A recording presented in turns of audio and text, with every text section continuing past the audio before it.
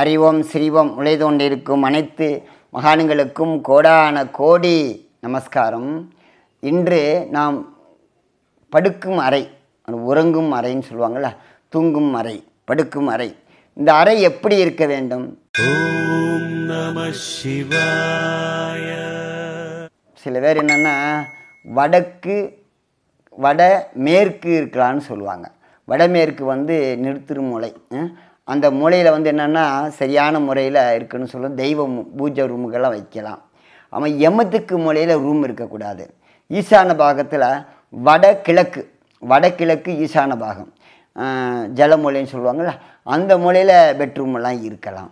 பிரம்மஸ்தானத்துலேயும் bedroom இருக்கலாம். இந்த மாதிரி இருக்க போகும்போது நம்ம அந்த பெட்ரூம் அறையில் ஒரு சரியான முறையில் நீங்கள் பண்ணிட்டீங்கன்னா அந்த மூலையில் இருக்கும்போது அந்த ஆண் பெண் உறவுகளில் வந்து சண்டை தச்சரு செலுவித்து வந்துக்கிட்டே இருக்கும். என்னதான் படுத்தாலும் சரி. சில பேர் பார்த்திங்கன்னா வடக்க தலை வச்சு படுப்பாங்க. படுக்கவே தெரியாது. நிறைய தெரியுது. எல்லாம் படித்தவங்களாக இருப்பாங்க. கடைசியில் எதுலேயோ ஒன்று கோட்டை விட்டுருவாங்க. எல்லாருக்கும் கடல் கும்பிடுவாங்க. பத்திமா இருக்கும். எல்லாமே இருக்கும். கடைசியில் இந்த படுக்கறையில் எப்படி மகானாக இருப்பாங்க. சில பேர் பார்த்தீங்கன்னா மகான்களை இங்கே நிறைய பேர் வருவாங்க. சட்டா முடியோடு நிறைய அப்படி இப்படின்னு வருவாங்க. படுக்கிற பார்த்தா தலைகளாக படுத்து கிடப்பாங்க படுக்க எந்த மூலம் தெரியாமல் கூட படுப்பாங்க. அப்போ கெட்ட கனவாக வரும். உடம்புலாம் அமுக்கும் வெறுப்பு உண்டாகும் சண்டை தச்சல் வரும். கணவன் மனைவிக்குள்ளே வெறுப்புகள் உண்டாகும். இந்த வெறுப்புகள் ஏன் வருது அப்படின்னா உறக்கத்திலேருந்து நம்ம சொல்லலாம். படுக்க போகும்போது என்ன செய்யணும்? மேற்க தலை வச்சு கிழக்க கால் வைக்கணும். அது மாதிரி தெற்க தலை வச்சு வடக்க கால் நீட்டணும். இதுதான் முறை. இந்த ரெண்டு திசையில் படுத்தா தான் சிறப்பு. அப்போ தான் நல்லா இருக்கும்.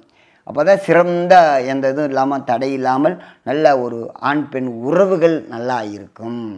எம எமதுக்கு மொழியில் ரூம் பெட்ரூம் இருந்தாவே கணவனை சேரவே இருக்கமா சேர்ந்தே இருக்க முடியாது. அவங்களுக்குள்ளே சண்டை தச்சிரு வரும். அப்புறம் ஆளுக்கு ஒரு சின்ன வீடு வச்சுக்கிட்டோமா சண்டை போட்டுக்கிட்டு இருப்பீங்க. அப்போ என்னென்னா உடனே சந்தேகம் அப்படியும் வந்துடும் அப்போ ரெண்டு உறவுகள் சரியில்லாமல் போகிறதுக்கு காரணம் நம்ம வீட்டில் இருக்கக்கூடிய படுக்கை அறைகள் படுக்கை அறைகளுக்கும் அந்த பெட்ரூம் சுத்தமாக இருக்கணும். காலையிலேருந்து தூங்கணும்னு எடுக்க மாட்டாங்க சில பேர். அப்படியே வச்சுருப்பாங்க. அந்த பெட்ரூம் எடுத்தால் தான் எடுத்து அன்னன்னைக்கு எடுத்து சூட்டி வச்சா தான் அந்த வீட்டில் லட்சுமி கடாட்சி அவங்களுக்கு வரும். ஜன வசியம் ஏற்படும். பண வசி லட்சுமி வசியம் உண்டாகும். ஒன்று ரெண்டாவது என்ன செய்யணும்னா அந்த அடிக்கடி வாரத்துக்கு ஒரு நாள் ரெண்டு நாளைக்கு ஒருக்க அந்த பெட்ரூம் துணிகளை வந்து தூய்மையாக படுத்தி கொள்ள வேண்டும். அப்போ தான் வந்து லட்சுமியுடைய அக்கா நமக்கு வீட்டுக்கு வராது. புரிஞ்சிருப்பீங்க? வச்சு மூதேவி வராது. அதுக்கு அடுத்தபடியாக பணம் செல்வங்கள் சேரும். ஜன வசியங்கள் உண்டாகும். உறவுகள் ஆண் பெண் உறவுகள் வம்சம் அபிவிருத்திக்கான உறவுகள் ஏற்படும். படுக்க போகும்போது நல்லா இன்னைக்கு போகிற எல்லா காரியத்தையும் நல்லா நினச்சிக்கோங்க. இந்தந்த காரியம் இப்போ இப்படி இருக்கணும் இப்போ இப்படி பண்ணணும் நல்லா நினச்சிக்கிட்டு என்னென்ன பண்ணீங்க என்ன செஞ்சீங்க என்ன தப்பு எல்லாத்தையும் நினச்சிக்கோங்க. நினச்சிட்டு சந்தோஷம் வந்து ஏதோ உங்களுக்கு இஷ்டப்ப ஜெய் ஸ்ரீராம் ராம ராம அல்லா இயேசு கிறிஸ்து ஏதோ ஒரு தெய்வத்தை பேரை மன உருகி நல்லா வேண்டிக்குங்க. வேண்டிட்டு பூமியை தொட்டு அடுக்கும்போட்டு படுக்கணும். படுக்கும்போது நிஷ்டையிலே இருங்கோ. ஆமாம் அப்போ தான் செய் செய்ய போகும்போது ஆண் பெண் சேர்ந்தாலும் கூட அந்த கடவுள் சிந்தனையில் இருந்தீங்கன்னா நல்ல வசீகரத்தன்மை ஏற்படும். வம்சம் அபிவிருத்தி ஏற்படக்கூடிய சித்திகளை கொடுக்கக்கூடியது இந்த முறையை தான் செய்யணும். அதுக்கடுத்து மந்திரம். மந்திரம் அறிவு மந்திரம் அந்த மந்திரத்தை சொல்லிக்கோங்க. சில நேரத்தில் இப்போ வாசனை புகையை புகை போடலாம். அது ஜவ்வாது புணுகு இந்த மாதிரி வாசனையில் அதுக்குள்ளே சாம்பிராணி போடுறீங்கள இரவு நேரத்தில் வச்சுக்கலாம். வாசனை சில பேர்த்துக்கு விசிங் ட்ரபுள் இருக்கும். அந்த சளி தொல்லை இருந்தால் பத்தியில் சேராது. அதுக்கு என்ன செய்கிறீங்கன்னா வாசனையான சாம்பிராணி கொஞ்சமாக போட்டுக்கோங்க.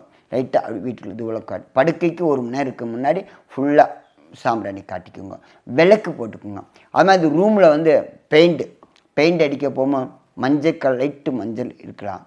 இல்லை ஒயிட்டு இருக்கலாம். நீல கலர் சில பேர்த்துக்கு மன உளைச்சல் ஆகும். சில பேர்த்துக்கு ஒத்துக்கும் சில பேர்த்துக்கும் பிரதானமாக அனைவருக்குமே ஒயிட்டு லைட்டு மஞ்சள் சந்தன கலர் சொல்லுவோம்ல அதுதான் ரூமில் இருக்கணும். அதை செஞ்சு பார்த்துட்டு அதுக்கான கிருஷ்ணனுடைய படம் கண்ணனுடைய படம்.